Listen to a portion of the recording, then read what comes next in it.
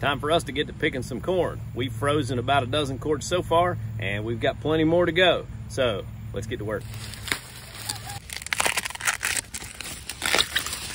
So we made a pretty good haul tonight, probably enough here total in the bucket of the tractor to can about 24 quarts of corn. So yeah, we've already got 12 quarts canned. I'm looking forward to it. Let me show you what we got. Good looking corn here.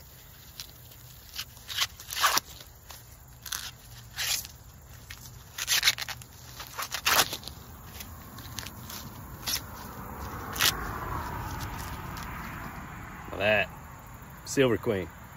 Gotta love it. You guys enjoy the scraps, don't you? Yeah, buddy.